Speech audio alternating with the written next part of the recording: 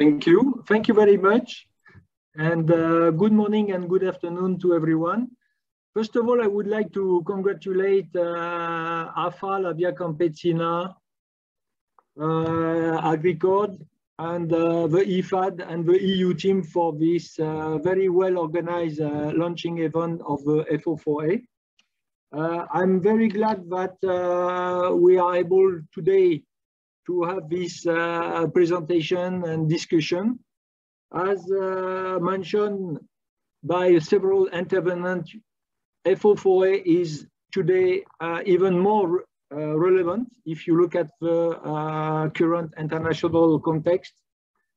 And uh, I'm sure that with the experience that we have under AFOS, we will be able to go fast in the implementation to uh, build, you know, on the lesson of AFOS and to increase the income of the farmer, to increase, you know, the credibility of the uh, farmers organization, to promote the family uh, farming system and to attract and maintain, you know, many youth in agriculture.